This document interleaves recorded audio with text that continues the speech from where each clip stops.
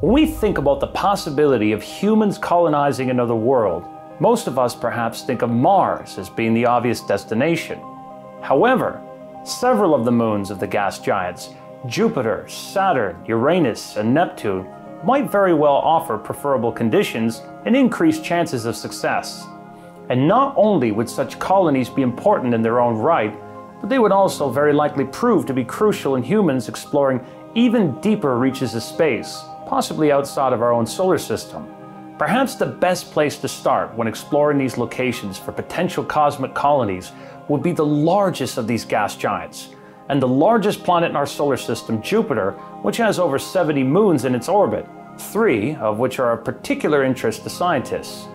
Arguably the most interesting of these is the icy world of Europa, perhaps not least as the vast ocean underneath the icy surface and the rocky inner core of the moon may already provide the conditions that support life, albeit microbial.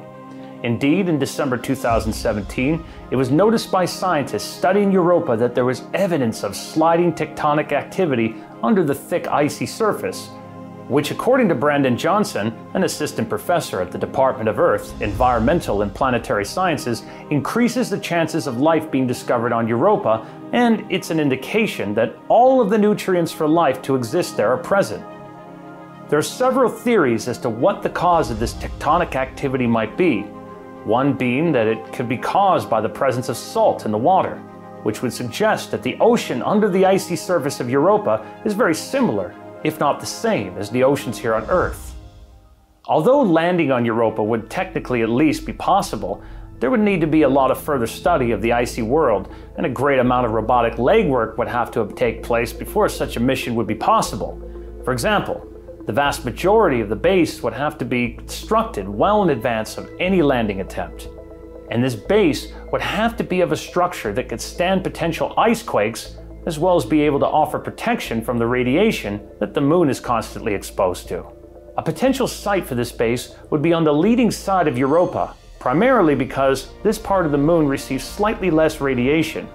And what's more, this location would offer the astronauts a view of Jupiter itself, which would appear to them around 20 times larger than our moon appears to us on Earth. If the astronauts wish to venture outside of the base on the surface, however, they would require equally specialized spacesuits and vehicles that could navigate the treacherous icy ground. Another of Jupiter's moons that could very well be a destination for colonization would be its largest natural satellite, Ganymede, which is also the largest moon in the entire solar system. Like Europa, its surface is largely made up of ice that appears to have vast oceans beneath it. And this ice appears to be much thinner than that of Europa, meaning it'd be much easier to break through and explore beneath the surface. And landing and colonization attempts, well, still a ways off into the future, would also require much the same procedures as landing on Europa. Although, the fact that a thin atmosphere exists on Ganymede presents, in theory at least, the opportunity for potential terraforming projects to take place.